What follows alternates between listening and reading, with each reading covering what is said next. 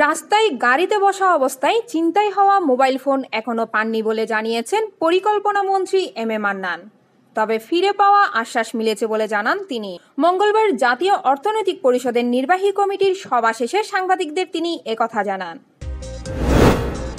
ক্ষতিকর তামাকজাত দ্রব্যের মূল্য ও কর বাড়িয়ে স্বাস্থ্যসম্মত খাদ্যে ভর্তুকি দেওয়ার আহ্বান জানিয়েছে বাংলাদেশে তামাক নিয়ন্ত্রণে কার্যরত চব্বিশটি তামাক বিরোধী সংগঠন। তাদের পক্ষ থেকে তামাক নিয়ন্ত্রণ আইন সংশোধন ও কর বৃদ্ধির সুপারিশ গড়নে একশত চুয়ান্ন জন জনপ্রতিনিধিকে অভিনন্দন জানানো হয়েছে। এক সময়ের জনপ্রিয় এই বাংলা গানের প্রথম লাইনটি কিন্তু বেঙ্গল টাইগার চেনার মূল সূত্র। কারণ, একটি বাঘের গায়ে দোড়া কাটা দাগের সঙ্গে আরেকটির মেলে না।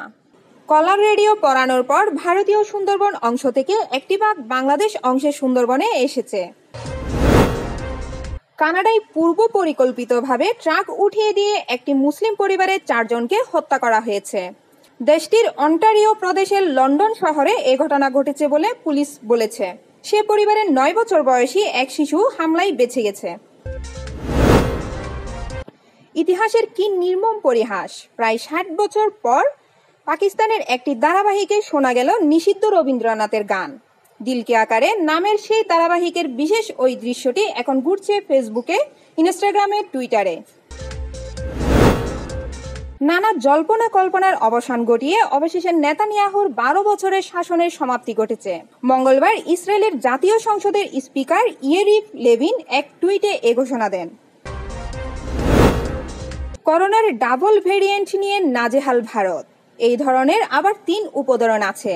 যার মধ্যে অতি সংক্রামক ডেল্টা ধরন নিয়ে রীতিমতো উদ্বিগ্ন বিশ্ব স্বাস্থ্য সংস্থাও। ভারতের নমুনা পরীক্ষার পর পুনের ন্যাশনাল ইনস্টিটিউট অব ভাইরোলজির এনআইভি গবেষকরা বলেছেন, ব্রাজিল ও ব্রিটেন থেকে আসা যাত্রীদের নমুনায় সংক্রামক আরেক ধরনের খোঁজ মিলেছে।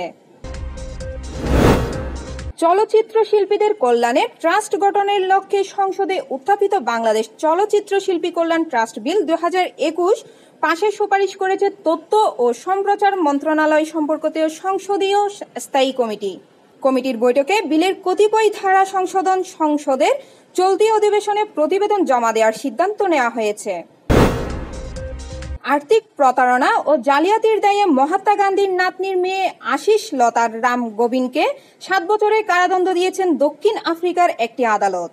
সোমবার ছাপ্পান্ন বছর বয়সী আশিস লতার বিরুদ্ধে কারাদণ্ডের রায় ঘোষণা করেন দারবানের আদালত।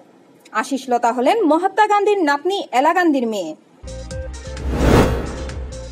সাকিবদের টানা দ্বিতীয় পরাজয় বৃষ্টির কারণে খেলা গড়ালো দল প্রতি ছয় ওভার করে। আর সেখানে প্রাইম দলেশ্বর স্পোর্টিং ক্লাবের বিপক্ষে বাইশ রানে হারল Mohammedan sporting club. Dhaka premier লিগে টানা দ্বিতীয় পরাজয় দেখলেন সাকিব আল হাসানরা। ডেক্স নিউজ, সি প্লাস টিভি।